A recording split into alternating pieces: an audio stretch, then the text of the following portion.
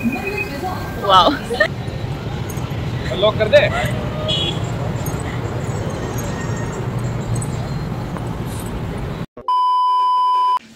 Hello everybody welcome और welcome back to the channel so आज का ब्लॉग बहुत स्पेशल ब्लॉग है क्योंकि आज मैं पहली बार शादी के बाद जा रही हूँ अपने ससुराल। सो so, मतलब बेसिकली हम लोग जयपुर में रहते हैं मतलब मेरी इन लॉज बट जो हमारी रूट्स हैं वो आती हैं मोदी नगर से तो वहाँ मैं जा रही हूँ एक वेडिंग अटेंड करने के लिए।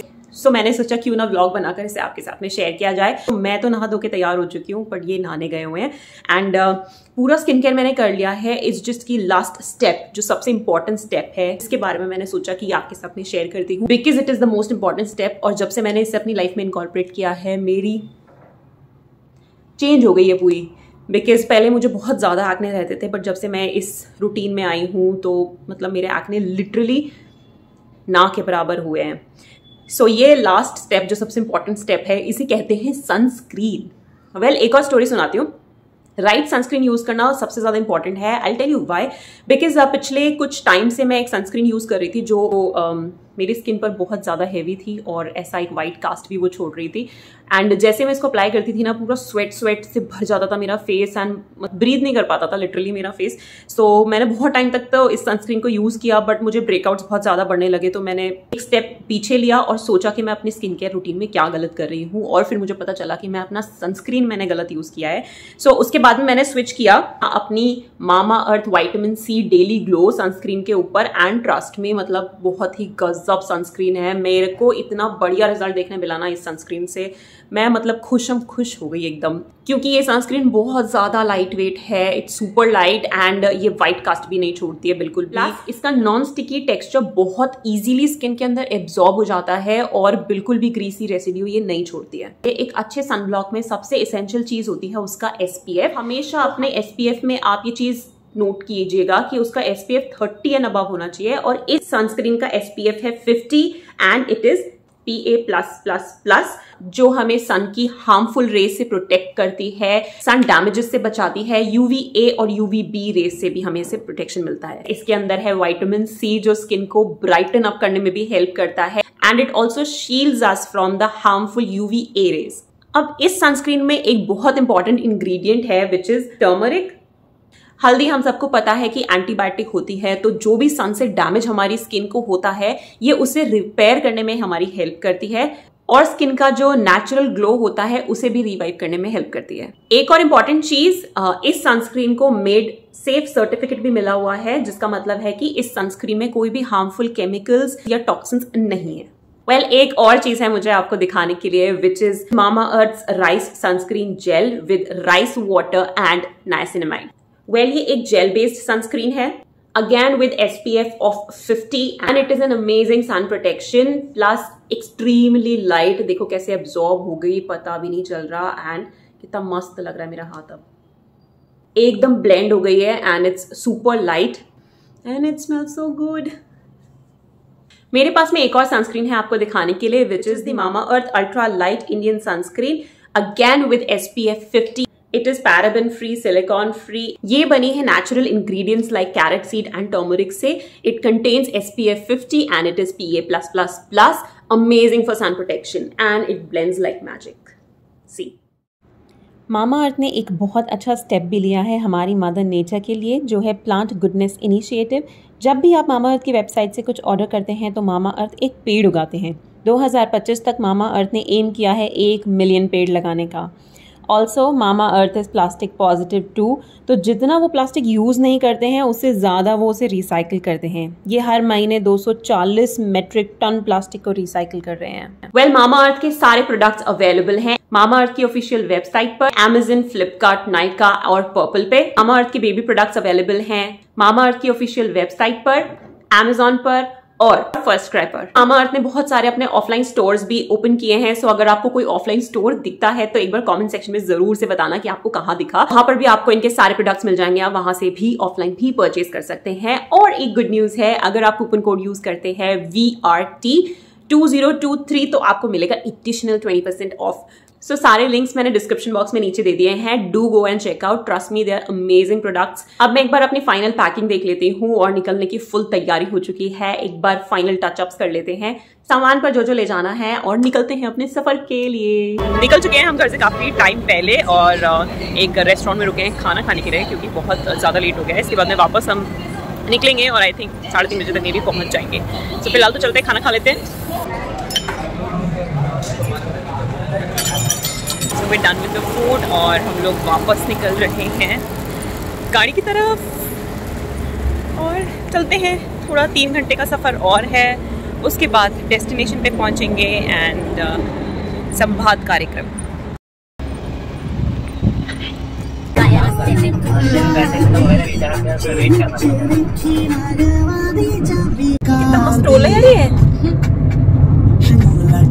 अबे सोनू भैया अभी नहीं आ रहे आधे घंटे से पहले। बोले ना मेरे को। मीना दीदी लेवाने आएँगे कि बात के लिए?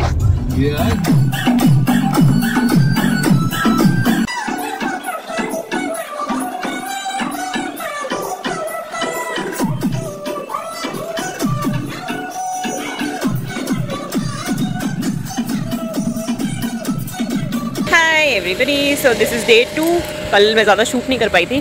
तो आज हम निकले हैं मोदी नगर से गाज़ियाबाद जाने के लिए जहाँ पर शादी है। सो so, फ़िलहाल तो हम रुके हैं यहाँ की फ़ेमस जैन चिकन जी पीने के लिए। और ये पड़ा हमारे रास्ते में एक जैन चिकनजी का ऑफिशियल आउटलेट मतलब वहाँ पर जैन चिकनजी इतनी ज़्यादा फ़ेमस हो गई है ना कि वहाँ पे हर शिकंजी वाला जैन चिकनजी है। ऐसा नहीं मेरे को दिक्कत हुई थी एडिटिंग करने ये बन रही है हमारी शिकंजी बहुत सारा सोडा और बहुत सारा मसाला शिकंजी का इन्होंने इसमें डाला है। तो मेन तो इनका देखो यही है सोडा और मसाले का कमाल बट चीनी भी बहुत थी। हमने अपने अपने एक एक ग्लास उठाया शिकंजी का और फिर हम निकल पड़े आगे के सफ़र के लिए जो था काफ़ी लंबा।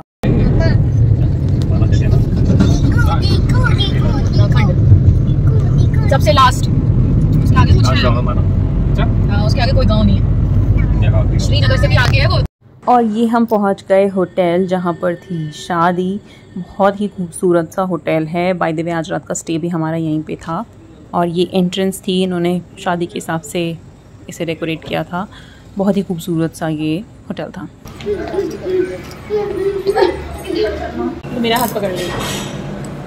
चलो। और ओह ओह ओह क्या फुर्ती से चल रहे हैं छोटे छोटे। और ये है सगाई का वेन्यू जहाँ पर आज के दिन सगाई समारोह था। बहुत ही खूबसूरत सा बैंकुएट था ये and very well decorated so हम पहले सारा घूम लिया हमने एंड uh, ये सारी सामान था जो नो uh, लड़के वाले लेकर आए थे हमारी प्यारी दुल्हन के लिए एंड बहुत ही खूबसूरत सा था और ये है दूल्हे राजा और ये हमारे भैया हैं सनी भैया जो उनको तिलक कर रहे हैं एंड ये पूरा इवेंट है।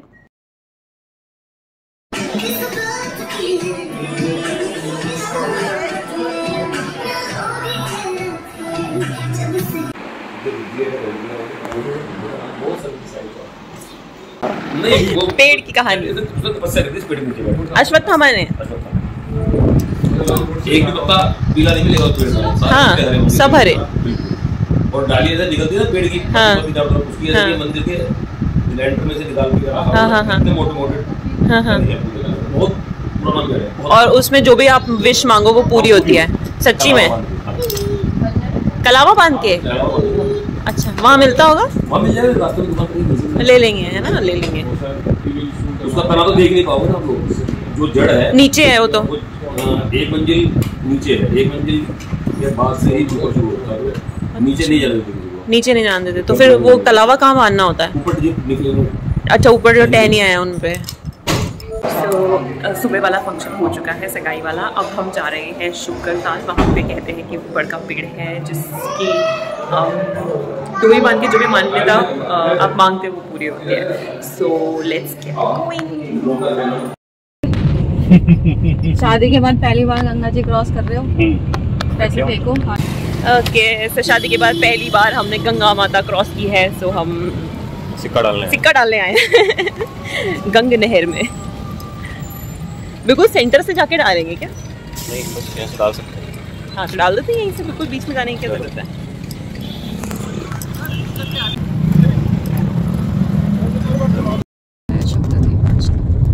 अब किधर जाना है फिर अब किधर जाना है बंद हो गया मैंने बंद कर दिया वो साला कब गलत बता रहा था। दो रास्ते हैं। मंदिर वट वृक्ष वटवृक्ष मंदिर मंदिर। वो मगरमच्छ वाला। हाँ। हम्म। मर गए होंगे साले गर्मी में। वो ना मरे गर्मी में। डायनासोर के जमाने से। वो और कॉकरोच। और खत्म होने के बाद भी रहेंगे ये दोनों ही। कॉकरोच तो गर्दन कटने के बाद ही ज़िंदा रहता हाँ। है वो तो बड़ा खतरनाक है कहीं भी रहता है। ऐसा अगर एक्सपेरिमेंट करो तो गर्दन काट के छोड़ देना। हाँ, वो ज़िंदा रहता है। हाँ ज़िंदा रहेगा सात आठ पूछेंगे भैया किसी को? इधर ही है मंदिर पहुँच वो गए उल्टा लेट के सब प्रिटेंड उस गाड़ी का खड़ी गया अच्छा। और उसको जरा सा हिला ना तो ऐसे आ गया सीधा तो। है पीछे ले गाड़ी। मंदिर में ये क्या वटवृक्ष हाँ अंदर दिख नहीं रहा सामने जरा वहाँ पे? ये देखो दीवार में से निकली है। अच्छा। ये यही है क्या? बरगद है ये तो बरगद। ये बरगद है। वाटर बरगद ही है। मेरे को क्यों नहीं दिख रही? कहाँ लगाया गाड़ी? यहाँ लगा दो। अच्छा हाँ वो अंदर से निकली थी हाँ हाँ। और हम पहुँच गए हैं मंदिर। डोरा ले लेते हैं बांधने के लिए पेड़ पर फिर मन्नत मांगेंगे। बोल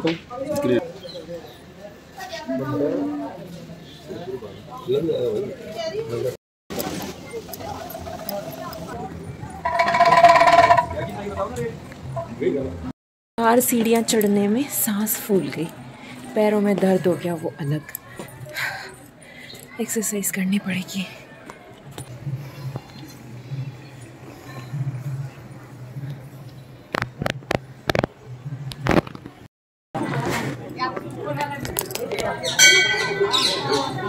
तोते दिख गए मुझे भी दिख। गया हाँ दिख पहली बार दिखे मुझे यहाँ पर।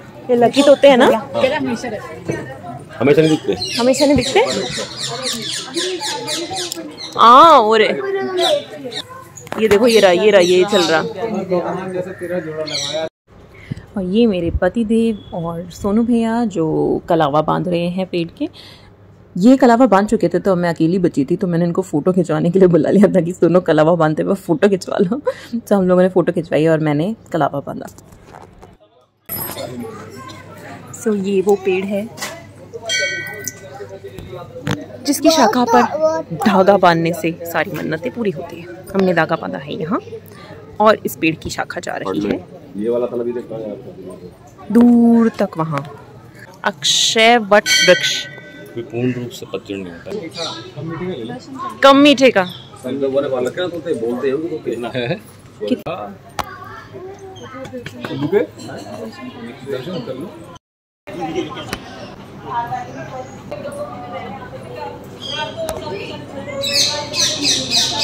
के ऊपर खड़े हो किसी लैंटर के ऊपर नहीं हाँ। हाँ। और गंगा जी नज़दीक में बर्फ़ हाँ। कल्लू के प्रभाव के कारण गंगा जी स्थान छोड़ के आगे चली गई। बारिश होती गई और मिट्टी कटती गई। बाद में मिट्टी के टीले के ऊपर ही आ गई। इस पेड़ की जो आयु है वो साढ़े पाँच हज़ार साल से है। और इसकी खास बात क्या है इसमें धाड़ी जटा नहीं आती जैसे दूसरे बड़ के पेड़ों में लटा ऐसे लटकती रहती है। हाँ हाँ। इसमें नहीं आती थोड़ी बहुत आती है वहीं पर चिपक जाती है। तो उसी हिसाब से मुक्ति पाने के लिए राजा पर यहाँ पर आए और भगवान ने भागवत के द्वारा राजा पशु को मोक्ष प्राप्ति की जो पांडवों को नहीं मिला देवता भी तरसते हुए उनको मोक्ष चाहिए वो मोक्ष केवल मनुष्य को राजा पशु और मनुष्य के उद्धार के लिए भगवान ने भागवत की जैसे भागवत का शुभारंभ हुआ इसको भागवत की जन्म कहते हैं। बोलो सुखदेव जी महाराज। की जय। So, हम थे चौथी मंजिल पे और इसके नीचे तीन मंजिल तक इसकी जड़ें हैं। And it's like five over five thousand years पुराना। सो इट्स ह्यूज और मंदिर भी हैं यहाँ पर। शिव मंदिर है हनुमान मंदिर है और उधर भी वो भी कोई मंदिर है। मुझे दिख नहीं रहा यहाँ से कौन सा मंदिर है। हाँ। अरे वाह कितने बड़े हनुमान जी हैं। सतर सत्तर? फीट सेवेंटी सेवन ना सतहत्तर। गणेश जी भी है यहाँ पे तो बहुत ऊँचे ऊँचे। वहाँ है हमारी गाड़ी। पांडे जी। ये गणेश जी और ये Hanuman ji. 77 feet tall. And यहाँ से ये व्यू। बहुत तेज गर्मी तो अब हम जा रहे हैं वापस होटल। क्या लेना है मम्मी के लिए? वो बजाते ना घंटी? ये ट्रेन ले लेते हैं। ये वाला। ये वाला हाँ ये भी बढ़िया है। नींबू निचोड़ने का। डमरू।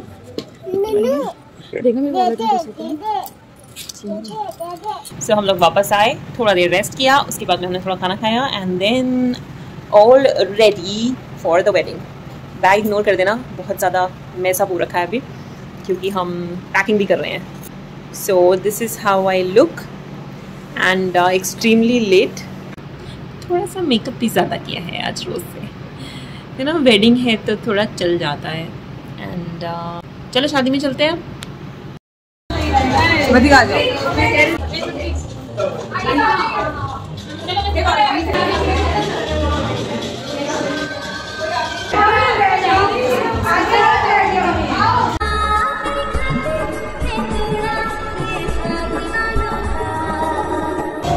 मैगी।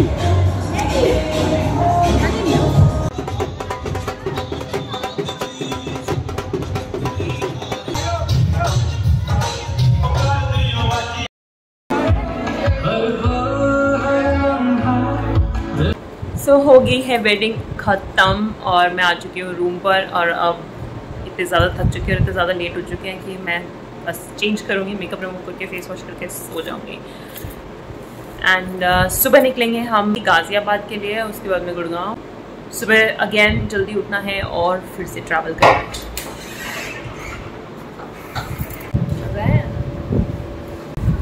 मुझे भी बहुत मज़ा आया।